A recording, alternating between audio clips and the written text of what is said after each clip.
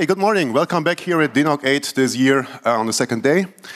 Uh, I will be your session chair for this first session. My name is Florian Streibelt, and um, if somebody is currently connected to our presentation laptop via screen sharing, please disconnect so we can select the next slide set uh, after this talk. Um, I'm happy to uh, announce or present to you uh, Christoph Dietzel. Uh, he's working for DE-CIX and also a PhD student at TU Berlin, and he will present today uh, his work on a PCAP BGP parser. Stage is yours. Thank you. Thanks for the intro, Florian. So, as you mentioned already, my duty is to work at DE-CIX and to take care of uh, different R&D jobs, so developing new stuff, uh, performing analysis, and on the same time, um, I'm doing my PhD, which goes very nice and very well together. Um, I also have to mention like sort of the second author. So actually the heavy work for writing the code for this tool I'm going to present in a minute uh, has been done by my colleague Tobias. So thanks Tobias. um, let's start off with the route server. So internet exchange points, um, they exist. They are a part of our ecosystem. And one important facility they have, one important uh, environment or machine is the route server. So I guess most of you are aware, or if not all of you are aware of route servers. And the route servers gained a bit of importance over the past, let's say, decade. And they process a significant amount of information for the IXP. I know that there are a lot of uh, also bilateral peerings, but still, like the um, most peerings at the IXP, especially at DE-CIX, are uh, multilateral peerings which really rely on the route server. So there's a lot of BGP communication going on, and those information are very crucial for an IXP. Um, sometimes I want to know things about like why things break, wh why something doesn't work, or why there's a new peak. Did someone announce more routes and generated more traffic, or is it that this was just uh, for another reason? So actually, this environment is very important for an IXP. Um, like the main reasons why someone would um, ask me to perform an analysis would um, either be that the customer customer needs debugging assistance, so something broke, something does not really work anymore, and they just come back to us and asking, okay, could you please look into your logs or whatsoever and tell me what's going on?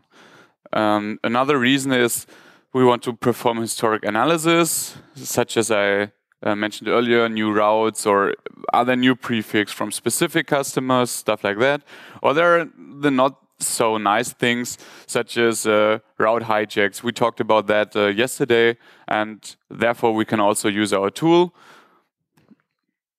And um, this is sort of like the three main reasons why we need a tool to perform a BGP analysis at an IXP. So our setup uh, differs not too much from a common setup at an IXP. So we actually run Bird as a route server instance. And uh, Bird also comes uh, saying first, like Bird is a very great tool and works very well for what it was designed. It's a very good software router and it's very stable, but it also comes with limitations. So, for instance, we are not really able to perform long-term um, BGP information export. So what I would like to see is to just start an MRT uh, dump and export it continuously, like over time, without a specified end, so that I have sort of a stream of, of information or data. And I want to have a filter. Like when I do the MRT dump, I want to apply a certain filters so that I don't get like all the data, but just a subset of it.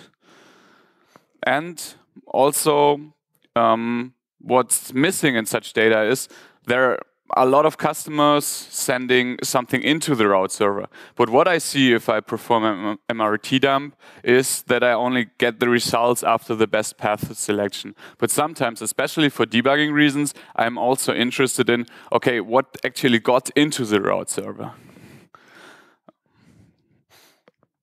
And uh, also, one thing I could do is to work directly with a bird daemon with a CLI and gets the information out there. But actually, I'm looking for something to automate things, to not do it um, like live and at a given time, but maybe I want to perform an analysis on old data. So what is a solution which is already there? Um, it's very simple, TCP dump and TC, uh, T-Shark.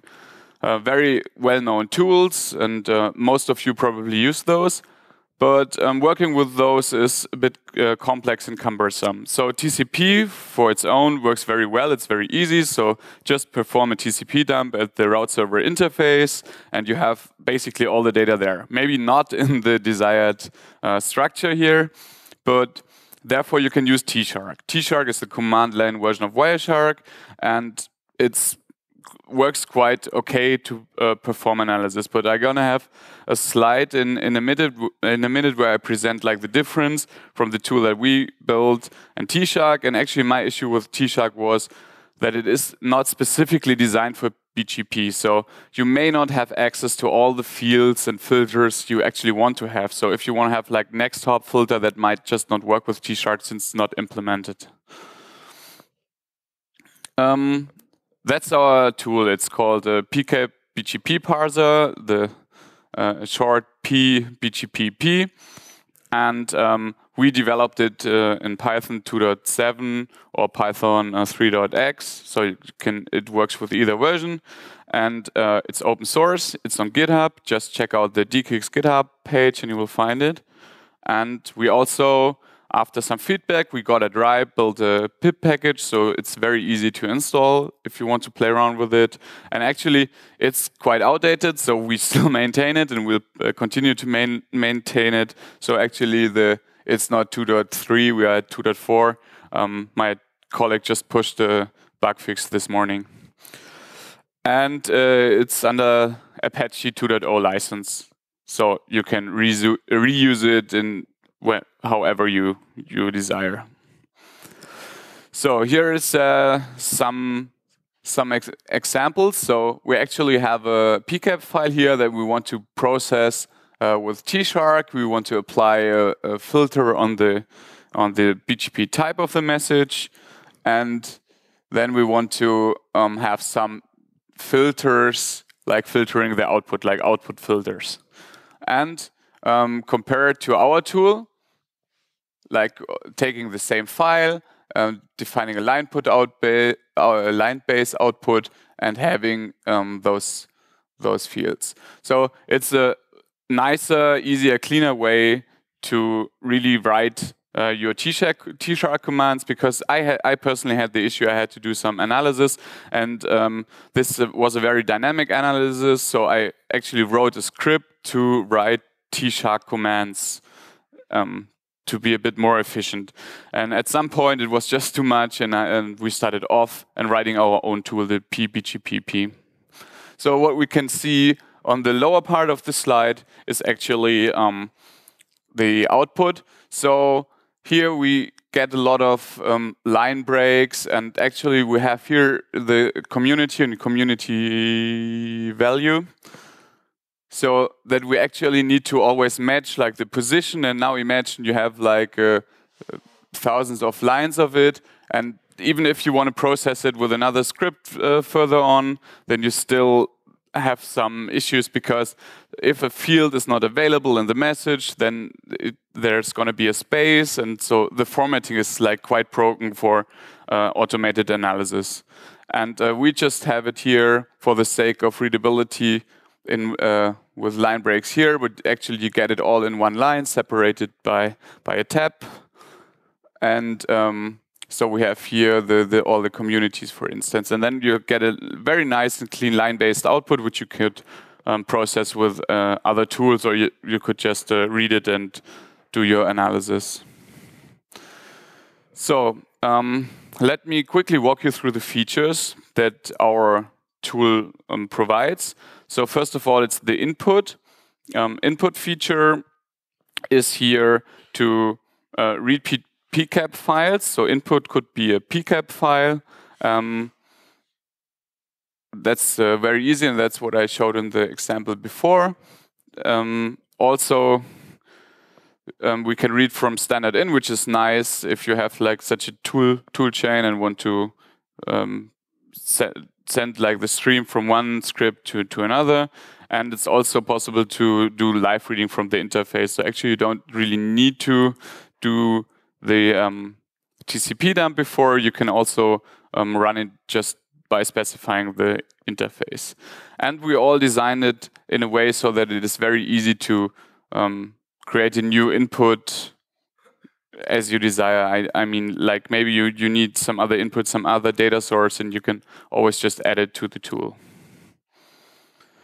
So um, the filtering actually happens in, in two steps.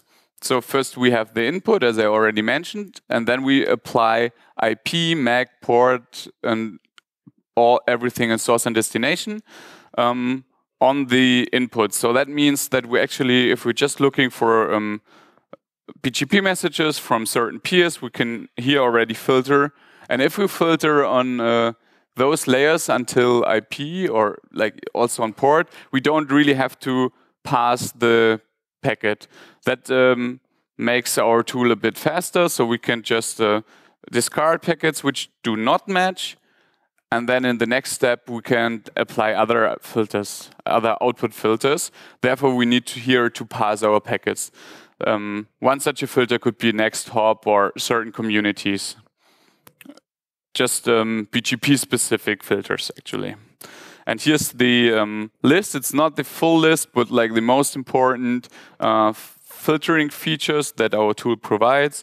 So we can um, filter like output filter by message type, by prefix, next hop, AS path, or one ASN in the AS path, or like the neighbor AS and the AS path, like all IP MAC combination, as you could imagine. And what also works is to use uh, like the not operator. So you could also invert everything and like filter not this IP. So show me all IPs or all BGP packets, but not from this uh, very IP.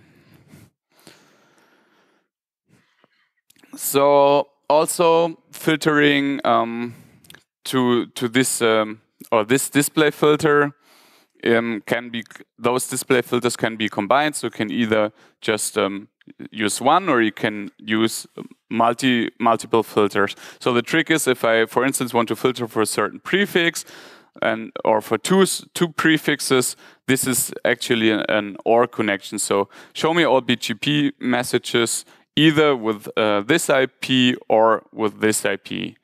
Um, also, what you can do, you can add different filter types, and then it's an end connection. The example here is fairly easy. It just says either this prefix or this prefix and this next hop.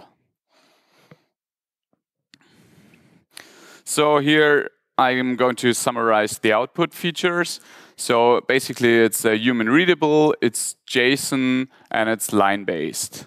So human readable is quite nice if you really want to perform a live analysis, if you just go and want to see um, what what went on. It's like nice structured in a nice way so that you can simply read and understand what's going on, and you can, for instance, with the less, you can scroll through it and really read it, human readable. The next is not so human readable. It's JSON, so we have. Uh, um, all the information according to the RFC 7159 um, structured, and it's one JSON string per line, means like basically one BGP message per line. So this is very nice format to either store it or process it with your toolchain in a very structured way.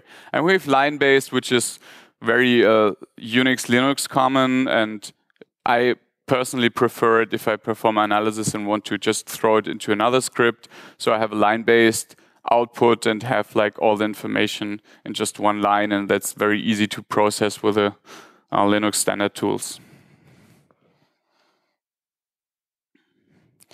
So um, there's also some community contribution. I um, introduced this um, tool actually at the RIPE in Madrid. And since then, we got some forks and we got some feedback. And we also um, added the um, pip py package.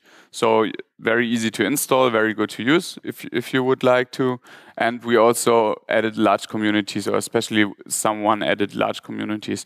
We also did some bug fixing, and we still going to do bug fixing in the future as well. So this is going to be a tool which will be really maintained and not um, be on GitHub and die. So um, more to come. If you want to see something that we don't have, a new feature, feel free, add it. We really did a huge effort in commenting the code and having it in a clean way and refactoring it again and trying to find variables that actually make sense. And um, I hope if you have a need for for this tool or if you use it, that you uh, can always push push back what what you changed and and talk to us if you want to see changes on everything. So we also needed to evaluate the correctness a bit. This is this is sort of the hard part because basically uh, we need to we would need to perform a through-hole analysis to really see if it uh, works 100%. But as you know, software is never 100% stable. So uh, um, we just counted. We really applied simple metrics. So for instance, we uh, digged out my old T-Shark toolchain again and ran it with a certain set of filters and applied the same filters with our tool and just checked if the number is correct. Or we just uh, like sort of dumped the JSON or dumped information and then we went on and, and just compared uh, the results. If But we could just use very small um, um, PCAP files because this is uh, very, yeah, it's a lot of manual work. And uh, what we also did is we used DE-CIX route server data of several hours and processed it to really make sure that we, we didn't verify the output at this point, but we made sure that it uh, runs and that there are no errors so that we at least can pass everything. So as I mentioned earlier, we we found a minor bug before that may happen in the future. But we also used this tool for quite a while now and we did some analysis with it. So we are confident that it is actually quite stable and that it's uh, correct what we did here. So um, it also comes with uh, some limitations.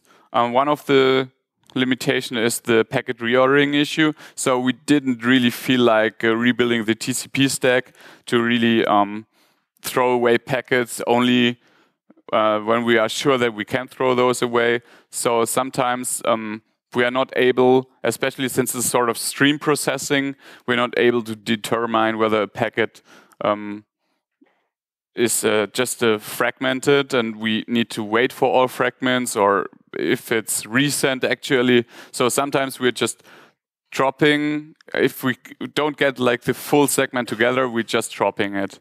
So that that was a quite tricky part. Um, we could also have waited like forever. It, uh, this works if you process files, of course. Just walk through an, an entire um, TCP stream, and at the end you will just uh, reorder, reorder everything and know whether a packet is missing or not. But if we do the live processing, and that's what we actually desired, then we, we just cannot wait uh, until forever. So that's why we then at some point move on and not all features are implemented yet. So there are like minors we, we actually wanted to add, and we still have to do that. So we also evaluated the performance. Um, you see basically um, three um, three measurements here in a plot with the durations in seconds and the number of packets um, going up to um, 10 million packets within the PCAP file. So when we start off, um, like the baseline is basically the, the blue one. This is the default line. So if you don't apply any filters, just run the tool as it is and perform a, a JSON or a line-based output, then you have uh, have this as a baseline. If you now um, add a lot of BGP filters, like actually the second step filters, then the performance decreases slightly, but we see it's just a minor decrease about uh, several seconds only while processing 10 millions of packets. So this is, uh, yeah, this is uh, quite performant. And um, we see that we even got a lot faster if we apply IP filters. So this is sort of the first stage filters. Then we don't need to pass as many packets as before, and uh, our runtime is is much shorter here. And the overall good message is it's a linear growth, so we don't run in, into any limitations, as we can see from here. So um, now I'm uh, ready to conclude. Like um, it's an open um, PBGP. P is an open source tool which is at GitHub and uh, is available as a pip package, and uh, it's under Apache 2.0 license. So feel free to use it, change it, add it somewhere, incorporate it in another tool or whatever you like. And um, it's also there and comes with a wide range of flexible input and output um, parameters or filters. Um, so use the strong filtering capabilities can be really used to perform a, every analysis you could imagine with the 4BGP. And it's nice to integrate within your tool chain. And um, what I didn't mention earlier is you can even um, configure the output to directly be or directly feeding a Kafka Kafka chain, so you can just integrate it in in various set of tool chains.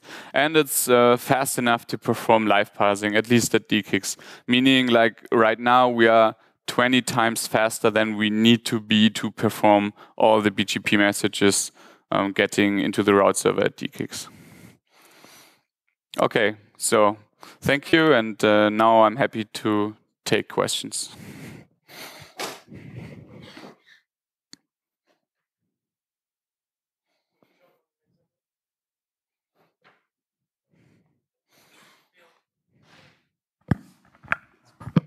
Ulf Fischer von Exento.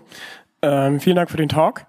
Ähm, hast du darüber, äh, äh, oh, sorry, has you uh, thought of um, um, building these uh, fields you discovered uh, in, in the PCAP files into uh, T-Shark? So yeah, yeah, yeah. That that was actually output filters and stuff, so that everybody can use it. Yeah, th that that uh, makes sense, and that was actually my first approach. The issue with the T Shark is basically it's a mess. So, like um, for me, it was like I started with it and I looked into into it and like how the the T Shark uh, structure is, and like I, I checked like other contributors, like how they made the way into like their contribution made the way into T Shark, and I saw it's like half year long process and, and, and cumbersome, and I um, decided like it's easier to go go the this way to have a clean standalone tool which is like better to maintain for me and it's like all under my control and was possible to develop it in weeks rather than than month or something. So that's actually the reason why why we didn't opt for fixing T-Shark things. And and um, T-Shark comes with inherent limitations such as like that it is a bit cumbersome to um, perform like all the filtering, like the the expressiveness is a bit like more tricky. It's not as straightforward as as what we try to to build here. Thank you. Marcus KPN. Um, maybe I'm not yet awake, uh, but why did you implement it on the PCAP layer and not in Bird? Oh yeah, the, the, the, because let, let me, uh, if you now have MD5 protected BGP sessions, you probably lost. Yeah, yeah, right. So um, actually, we, we I also talked to the um, maintainer of the of the Bird tool, and um, the reason here is simply I, I needed it now. So actually, I needed it for uh, my um, PhD part of, of my job, and I, I just needed it for for an analysis I had to perform, and I was messing around with T Shark, and yeah, I couldn't wait for like a year cycle at, at the bird development process. So integrating it into bird like needs to sync with the bird maintainers and actually putting uh, or filing a feature request and but they are like overwhelmed with feature requests anyway. So it was just the more convenient more easy way. Stefan von DENIC um, we had a little talk about the tool yesterday ahead this uh, the session, and I pretty like the the results. So it, it's okay. It's totally fair to have it here. So, but my problem is I am I'm not able to use uh, PCAP for most of my BGP stuff. So. Um, I mentioned the protocol. I don't know um, if it's the, the right uh, corner, but it's called OpenBMP. I don't know if some guys know that. Basically, it's some sort of standard that the router exports Yeah. the already parsed and um, all the TCP thingy is already done and puts all the BGP data and puts it in TCP stream and there you can centrally collect it. So you don't have to, to, to create a central route collector or something like this. You get the, the raw um, BGP stream from the, from the edge borders and uh, this project is called OpenBMP. And there's also another cool tool, it's called um, BGP Stream. So Yeah, but BGP Stream, the use case is totally different. Yeah, So BGP Stream you you use for RIS collectors or route views. So that's actually completely something something different. Yeah. Just just to mention, but and uh, what I, what I was missing in the talk is the um, th- that that you show which tools are out there and what's what's the difference. So this is something maybe for the future. So Yeah, I thank you. I keep it in mind. But yeah, yeah. I, I try to much appreciated. put the T Shark there. But yeah, there are definitely other choices. Okay, I think I have not seen any more questions. Then I thank our speaker. Thank you.